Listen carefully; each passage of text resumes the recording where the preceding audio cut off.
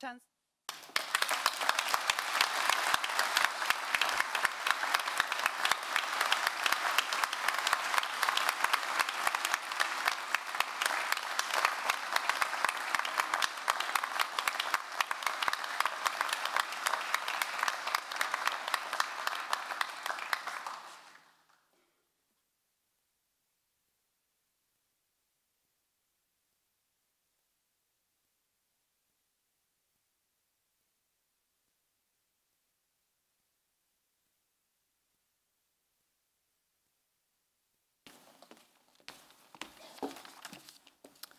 Chancellor, Principal, invited guests, ladies and gentlemen, and fellow graduates, it is a true honour and privilege to share this day with you and to be presented with this fantastic award.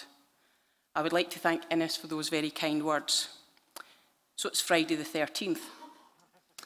Unlucky for some, but I would suggest not for us. On the 14th of July, 25 years ago, I received my degree in computing science, which I thought was a great achievement considering that my high school didn't have any computers.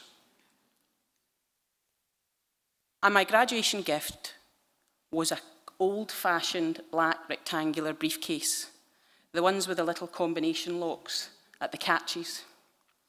And I set that combination to 147. 14th of July, the day I graduated. And indeed, it's still set 147.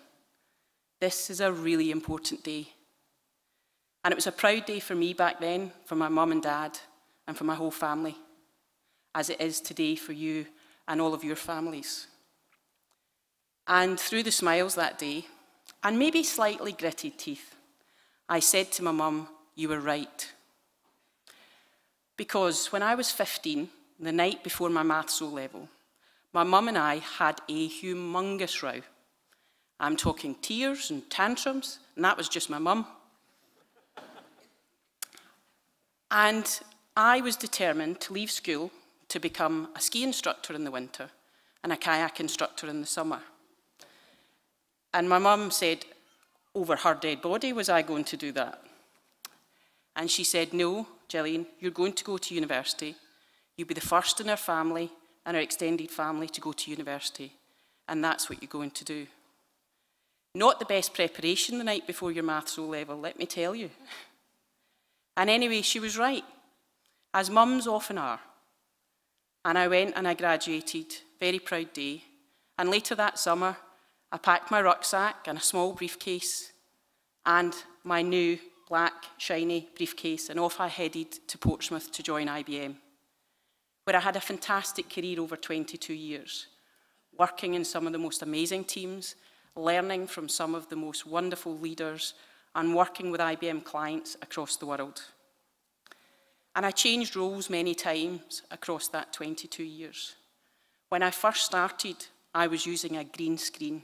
Yes, there was only one colour on that screen, people. I lived through the modem dial-up era which screeched and hollered as it connected to the internet. Through the brick mobile phone, whose battery lasted about five seconds. Through a laptop that you could actually physically transport and carry without having to wait lift. And right through to IBM's Watson's artificial intelligence engine, which won the Jeopardy game show and is now helping oncologists around the world diagnose and treat cancer. And then I had the fantastic challenge of joining the Data Lab. And through that time, I've lived through new language and lexicon. Hashtag. Google it. Prime next day delivery. Language we all take for granted now. And it's great to get a chance with my colleagues at the Data Lab to innovate through the use of data science. To work with some fantastic academics, many of them from Robert Gordon University. And over that long 25-year career, and I feel like I'm only about halfway through, I've learned some things that I'd like to share. Creativity and curiosity. Don't ever lose it. Be the four-year-old you. Ask why. Why? Why? Why? Why?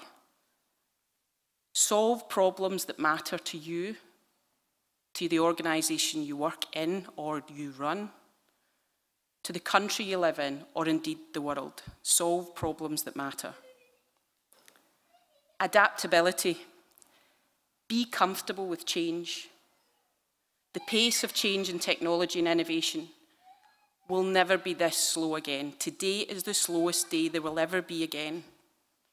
So be comfortable with change. Teamwork. Life is not a solo sport. Work is definitely not a solo sport.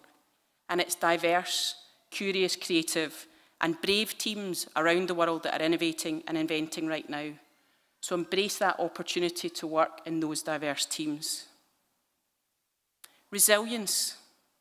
Pick yourself up.